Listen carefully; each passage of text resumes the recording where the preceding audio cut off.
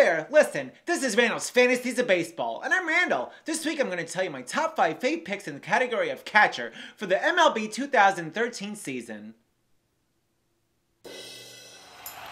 Swing and that's a long drive. That's coming against the wall and it's gone. The Giants won the pennant. The Giants have won the pennant. The Giants won the pennant and they're going crazy. Here's the 2-0 pitch. Oh my god! Ball's going! And it's gone! Goodbye! Touch all those the here's the pitch. Oh, strike three! And he's stuck. Well, as you may not know, stupid, finding a good hitting catcher is hard to find. Why not since Mike Piazza, if I've seen one? I'm going to give you my top fave picks in this category, and they are some really good defensive and offensive hitting catchers, I'll tell you. There's Buster Posey of the San Francisco Giants, Yadier, Moli- Yadier Molina of the St. Louis Cardinals, Joe Mauer of the Minnesota Twins, Brian McCann of the Atlanta Braves, and Carlos Santana, not to be confused with Black Magic Woman of the Cleveland Indians. Let's take a look. Just show the shit! Buster Posey last year hit a National League leading 336 with 24 home runs and 103 RBIs. He had a 408 on base percentage with 39 doubles. You gotta be kidding me! You see those numbers?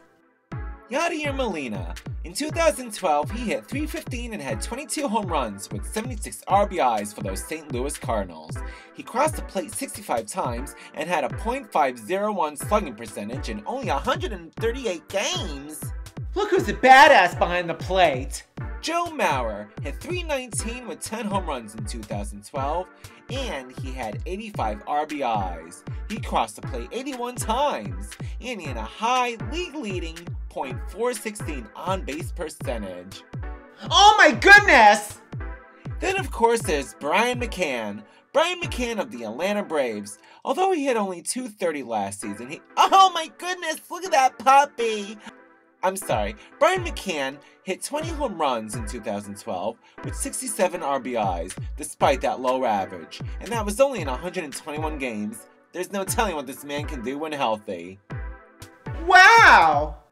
Carlos Santana. He was signed originally by the Dodgers. Now he's with those Cleveland Indians. He hit 252 last year with 18 home runs and 76 RBIs in only 143 games. So those are my picks. What do you want for nothing? For best catchers in the MLB 2013 season. And let me tell you, if he incidentally happens to play in a fantasy legend league, I highly suggest you pick up either Thurman Munson or Johnny Bench. They'll do your team wonders, or Mike Piazza, and he should have gotten to the Hall of Fame. For Randall's Fantasies of Baseball, I'm Randall. See you at the ballpark. Don't be stupid. Check out Mecha Rogue. Go to Amazon.com now and get it. AnimalsAsia.org is fantastic. Please visit it and find out what you can do to help. Also, visit PawProject.org to find out more about banning declawing. Randall's Fantasies of Baseball was filmed before a live studio audience of cats, dogs, and two parakeets.